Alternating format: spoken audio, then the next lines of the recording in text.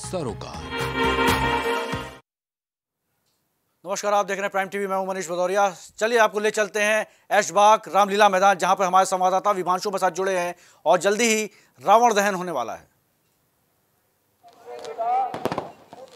विभांशु, वहाँ पे इस समय क्या स्थिति बन रही है? रावण दहन कितनी जल्दी होने वाला है? जैसा कि यहाँ पे उत्सुकता दिख रही है लोगों में, आसपास के आपके पीछे भी मैं देख पा रहा हूँ। वहाँ पे आयोजक लोग मौजूद आ चुके हैं। और जल्दी ही रावण को दहन की तैयारियाँ कर रहे हैं वो।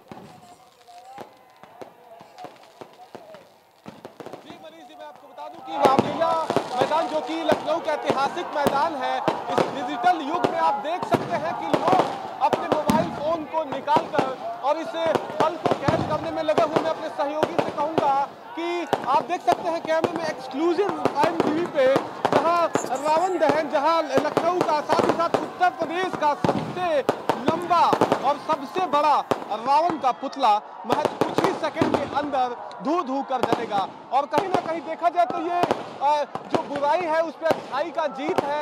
और साथ ही साथ हमारे मर्यादा पुरुषोत्तम राम के, अगर देखें तो तीरों से राम का वध हो चुका है। और महज कुछ ही सेकंड के अंदर आप देख सकते हैं कि यहाँ रावण के पुतले को आग लगाया जा रहा है। और महज कुछ ही सेकंड के अंदर ये आपके सामने लगभग सौ फीट की जो रावण का पुतला दिख रहा है, ये आग के हवाले हो जाएगा। वही अगर बात की जाए मैदान का अगर देखें तो सोलहवीं शताब्दी से उपयोग है।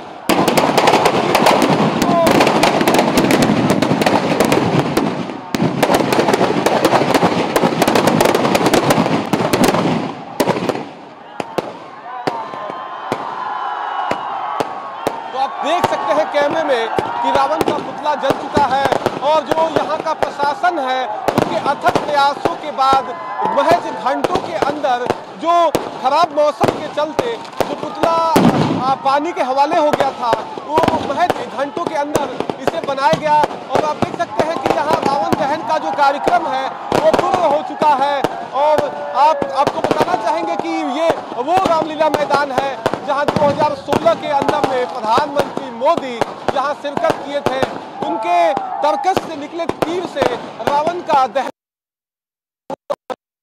साथ ही साथ अगर बात की जाए तो जो सूबे के पूर्व उप मुख्यमंत्री रहे हैं दिनेश शर्मा, वो लगातार जो यहाँ की समिति है, उसको विकास के लिए काम किए हैं। साथ ही साथ अगर बात की जाए तो ये ऐतिहासिक रामलीला मैदान के अंदर में देश के कई सारे मुख्यमंत्री, साथ ही साथ मंत्री, तमाम जो गणमान्य हैं, वो शिरकत कर चुके हैं। और आप देख सकते हैं कि इस बुराई के, अच्छाई के त्यौहार पर लोगों को मैं दिखाना चाहूँगा कि लोगों में कितना उत्साह देखने को मिला मैं सहयोगी विजय से कहूँगा कि वो कैमरे पे आपको दिखाए कि लोगों का कितना उत्साह है। लोग के मगर देखे तो लोग जय श्री राम के नारों से ये पूरा जो प्रांगण है वो गूंज उठा है।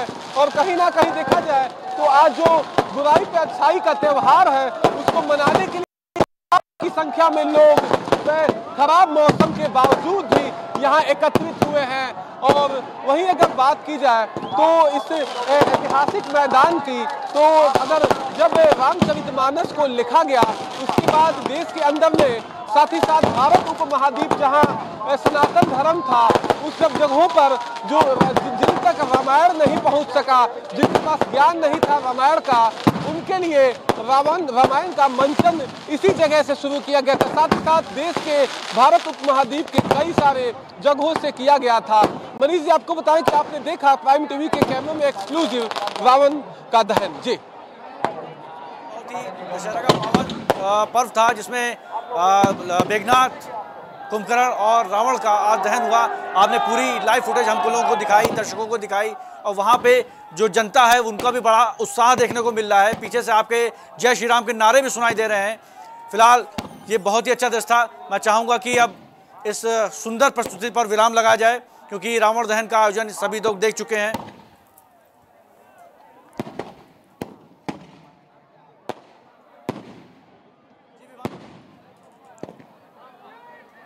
आपका बहुत बहुत धन्यवाद।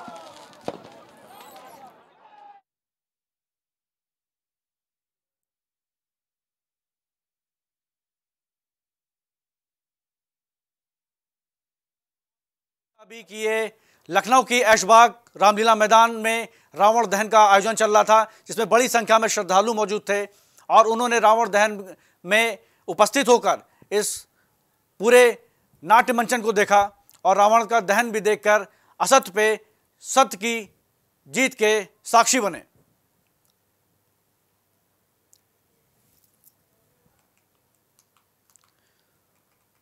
आपको बता दें कि भगवान श्री राम ने नौ दिनों तक माँ दुर्गा की आराधना की थी।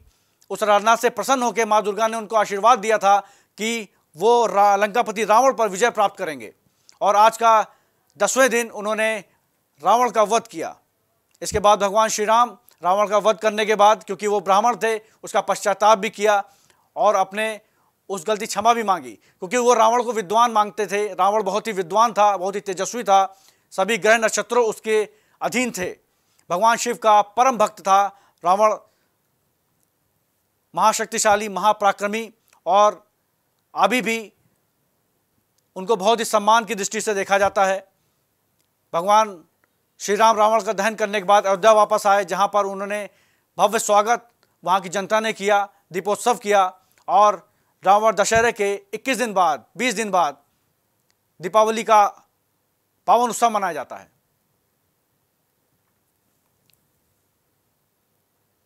ये पूरी रामलीला का मंचन आप देख पा रहे थे, ऐशबाग रामलीला मैदान से।